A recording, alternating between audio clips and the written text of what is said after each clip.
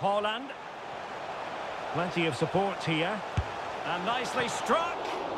You'll be hard pressed. Can he deliver it with accuracy? And a goal! There he is at the double. They just can't subdue him.